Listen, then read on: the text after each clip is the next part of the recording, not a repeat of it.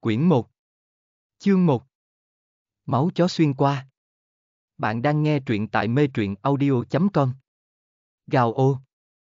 Trên sân cỏ trống trải, hơn trăm con ngươi xanh mực tham lam nhìn cùng một nơi, khóe miệng còn chảy xuống ống ánh chất lỏng, chúng nó chậm rãi tới gần, rồi lại trước sau không dám đi bên người Tuyết Lan đang dẫn đầu, Tuyết Lan là lãnh tụ trong tộc, có thứ tốt, thủ lĩnh không có khởi động, bầy sói là như thế nào cũng không dám động khẩu, bầy sói mục tiêu là một người cả người máu tươi, vết thương đầy mặt thiếu nữ, nhìn kỹ một chút, thiếu nữ tóc hỏa hồng, bạch y bị máu tươi nhiễm đỏ, dưới ánh. Trăng chiếu xuống, có thể nhìn thấy trong tay nàng cầm thật chặt một cái thủy tinh địch ống ánh long lạng, toàn thân co lại, đem thủy tinh địch ôm vào trong ngực, dùng thân thể bảo vệ cây sáo, đối với tất cả nguy hiểm xung quanh phản phất như không hay biết, tuyết lan tham lam mà nhìn thiếu nữ mê người, miệng rộng mở ra, lộ ra răng nanh cứng trắng, dưới nguyệt quan khúc xạ, lập lòe âm hàng ánh bạc. Gào ô. Bầy sói mấy chục con phía sau kêu càng thêm vui vẻ, tham lam trong mắt so với tuyết lan càng sâu, giữa lúc tuyết lan quay về cắn xuống con mồi, một đôi huyết mâu lạnh lẽo như băng ở dưới trăng kinh hiện, nhỏ gầy cánh tay vung động thủy tinh địch trong tay, không chờ tuyết lan phản ứng, thủy tinh địch trực tiếp xen vào mắt trái của nó, sau đó nhanh chóng rút ra, hết thảy động tác làm liền một mạch, mãi đến khi Tuyết Lan bị thương, nằm trên đất trên rỉ, bầy sói phía sau Tuyết Lan mới phản ứng. Được. Các ngươi thật lớn mật. Khang khang thanh âm lạnh như băng phun ra từ trong miệng thiếu nữ, nàng chậm rãi đứng dậy, nhìn Tuyết Lan bưng mắt trái trên rỉ. Con mắt đỏ như lửa nhưng lộ ra từng trận cảm giác mát mẻ, khiến người ta nhìn đều sợ nổi da gà, trên vùng bình nguyên không biết từ đâu tới sương mù, đem toàn thân thiếu nữ bao vây, sương mù từ từ lan tràn, màu sắc đã biến thành đỏ như màu máu, thiếu nữ, bình nguyên, bầy sói, đều bao phủ ở bên trong một mảnh màu đỏ sương mù, ánh trăng bị đỏ như màu máu sương mù chăm chú bao phủ, mặt trăng trắng bạc dĩ nhiên đã biến thành đỏ như máu, bầu trời hoàn toàn đỏ đậm, đỏ phản phất đều có thể chảy ra. Máu, Hồng Nguyệt đem ánh sáng chăm chú vần quanh ở xung quanh quân mộ khuynh, là như vậy hài hòa, không có nửa điểm đột ngột, thật giống nàng vốn là thuộc về bên trong màu đỏ như máu này, bầy sói mở ra miệng rộng, ngoài trừ kinh ngạc, vẫn là kinh ngạc, chuyện này, chuyện này, kẻ nhân loại này một chiêu liền đem chúng nó thủ lĩnh tổn thương, thủ lĩnh đã là cấp 10 huyễn thú, một tiểu nha đầu một chiêu liền làm cho tổn thương, thiếu nữ nói xong sau, hơi sững sờ, nàng liếc mắt nhìn trong tay thủy tinh.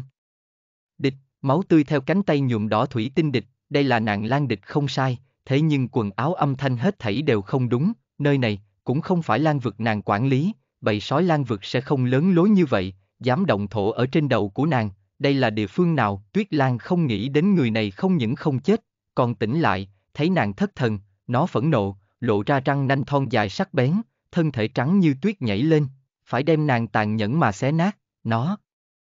Đường đường cấp 10 huyễn thú, bị một nha đầu đâm mù mắt, truyền đi là bao nhiêu sỉ nhục, quân mộ khuynh nhìn thấy Tuyết Lan nhảy lên đến, khuôn mặt non nớt triển khai một nụ cười, vung thủy tinh địch mang huyết trong tay, tiến đến bên mép, nàng không có phát hiện quanh thân cây sáo hơi ửng hồng ánh sáng, tiếng địch thăm thẳm vang lên, vết thương trên mặt lần thứ hai nứt ra, máu tươi chậm rãi nhỏ xuống, rơi vào trong miệng, tuyết lan cơ bản đang nhảy lên, mau mau trụ lại thân thể, nhẹ nhàng. Nằm ở trên mặt đất, hung ác ánh mắt, đột nhiên trở nên cực kỳ dịu ngoan, nó đi tới trước mặt quân mộ khuynh, dùng gò má không có vết máu sượt sượt cánh tay của nàng, mà bầy sói phía sau tuyết lan sau khi nghe đến tiếng địch, ánh mắt dần dần trở nên nhu thuận, nhắm lại cái miệng lớn như chậu máu, đem răng nanh thu ở trong đó, ánh trăng tung xuống, lộ ra sương mù màu đỏ thắm, thủy tinh bên mép quân mộ khuynh, quan chậm rãi chảy qua, ống ánh long lanh cây sáo, cũng đã biến thành lửa đỏ như máu, lúc này, tình cảnh quái quỷ phát sinh, ánh trăng đỏ như máu đem toàn bộ đất trống bình nguyên rọi sáng, giống như ban ngày vậy, thiếu nữ khắp toàn thân từ trên xuống dưới che kín vết thương chậm rãi biến thành cao to, huyết y phục màu đỏ đã biến thành bộ lông, nàng đem cây sáo đỏ như màu máu từ bên mép dời đi, nguyên bản lạnh lẽo hồng mâu, trở nên càng lạnh lùng. Gào ô. Chỉ thấy nó ngửa đầu kêu, hết thảy lan lập tức khôi phục thần trí, tuyết lan lùi về sau một bước, sững sờ nhìn một cái thân thể huyết lan cao hơn chính mình, bốn cái chân không khỏi rung lên, đệt. Đây là tình huống thế nào?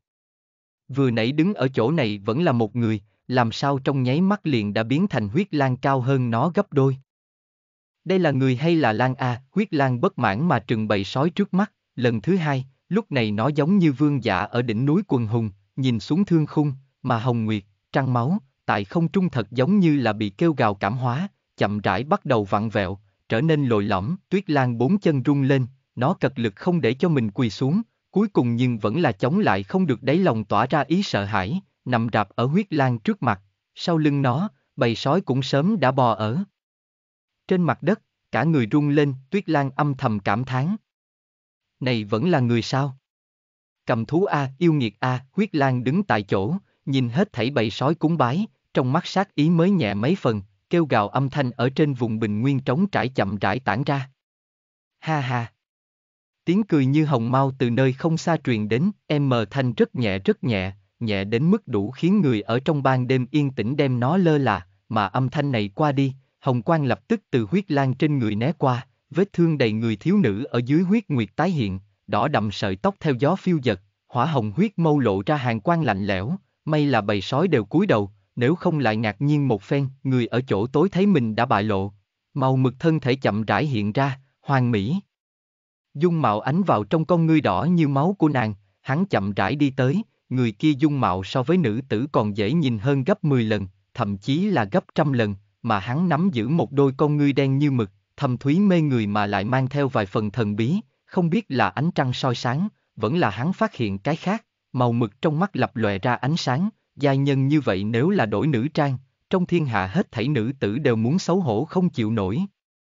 Quân mộ khuynh nhìn nam tử kia.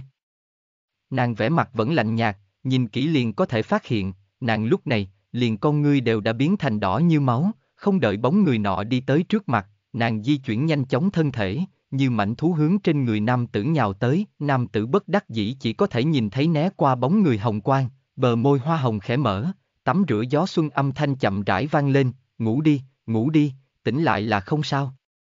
Sau khi âm thanh truyền ra, bóng người màu đỏ nhảy qua tốc độ rõ ràng biến chậm, cuối cùng dừng bước lại, ngã úp sấp trên mặt đất, mặt y nam tử sau khi nhìn thấy quân mộ khuynh, biểu hiện hơi sửng sốt một chút, lại lập tức khôi phục ôn hòa, đàn sói nhìn thấy nam tử, dồn dập lùi lại, chúng nó bị huyết lang làm sợ hãi đến run chân, thế nhưng cái kia huyết lang cũng chỉ là để chúng nó thần phục, nhưng là trước mắt nam tử này khí tức càng thêm đáng sợ, để chúng nó sởn cả tóc gáy, trong lòng càng là.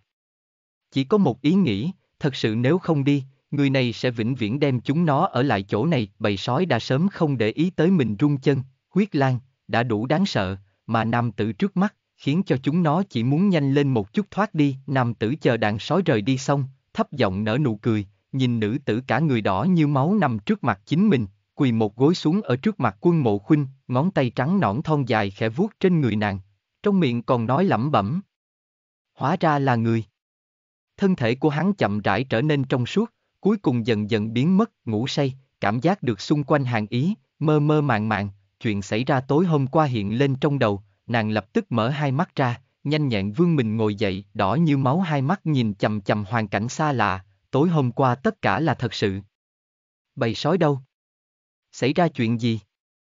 Quân mộ khuynh chậm rãi bò lên, nhìn chung quanh xung quanh, trên mặt lạnh lẽo không nhìn ra tâm tình, quân mộ khuynh nhắm mắt lại, hít sâu một hơi, mãi đến tận khi trên mặt hiện lên một vệt bất đắc dĩ, mới lại mở, không nhìn được ở trong lòng chửi bới.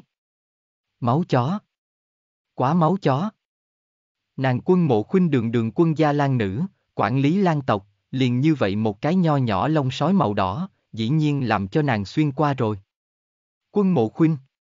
Quân mộ khuynh nhớ lại một hồi ký ức trong đầu, trong lòng cũng có mấy phần sáng tỏ, thế giới này gọi thương khung đại lục, thân thể nàng sống lại, cũng gọi là quân mộ khuynh, quân mộ khuynh này so với mình có thể hạnh phúc hơn nhiều, có phụ thân ca ca thương yêu, nhưng là một hồi biến cố mấy ngày trước, làm cho nàng thân hãm bầy sói, phụ thân ca ca càng là sống chết không rõ, quân gia ở thương khung đại lục, ở bên trong năm gia tộc lớn xếp hạng thứ nhất, mà cả nhà bọn họ nhưng là bị chủ nhà đuổi. Ra, cũng có thể nói bị quân gia vứt bỏ, đi tới nơi này, gọi là phù thủy trấn nhỏ, sau khi bị đuổi ra khỏi nhà, bọn họ lại như bị lãng quên, ba năm qua, người quân gia bổn gia chưa từng để ý tới cả nhà bọn họ, phù thủy trấn cũng có chi nhánh gia tộc khác ở, liền bởi vì như vậy, các chi nhánh khác đều đem chuyện tình đối với chủ nhà không phục, tác ở trên người bọn họ, phù thủy trấn quân gia không tính giàu có, nhưng cũng có thể trải qua cuộc sống yên tĩnh. Ở cái đại lục vũ lực mới là vương đạo này. Phụ thân ca ca ở phù thủy trấn cũng có thể khiến người ta chấn động chấn động, nhưng là đối mặt tứ đại gia tộc liên thủ, ba người bọn họ coi như lợi hại đến đâu, cũng chỉ có chịu đòn. Lần này, tứ đại gia tộc chi nhánh càng là quá đáng, còn muốn để quân gia ở phù thủy trấn hoàn toàn biến mất, quân mộ khuynh sinh nhật 10 tuổi, từ đó con mắt và tóc đều đã biến thành màu đỏ, trên đại lục này có người nắm giữ con mắt có màu sắc khác, tóc, này cũng không phải chuyện ly kỳ gì, thế nhưng, chi nhánh của tứ đại gia tộc khác, cố ý khuếch đại, nói quân mộ khuynh là sát nữ, yêu nghiệt.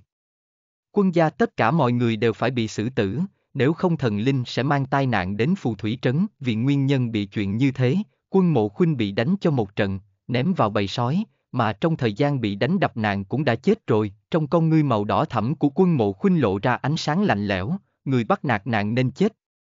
Bắt nạt người của nàng cũng nên chết. Ký ức hai đời ở trong đầu đang xen, làm cho tâm nàng bởi kiếp trước thiếu hụt tình thân mà lạnh lẽo, từ từ trở nên ấm áp lên, năm gia tộc lớn thật sao? Món nợ này, nàng, quân mộ khuynh nhớ rồi, một tia khí thế đã mang theo từ lúc sinh ra cùng đầy mặt máu tươi ở dưới ánh mặt trời chiếu rọi khiến người ta cảm thấy không tới nửa phần ấm áp, thậm chí còn lộ ra một luồng cảm giác mát mẻ lái đi không được, quân mộ khuynh mặt biến sắc, xoay người đi đến phía ngoài bình nguyên, trong ký ức, phụ thân cùng ca ca vẫn còn ở trong tay những gia tộc khác, nàng nhất định phải cứu bọn họ ra.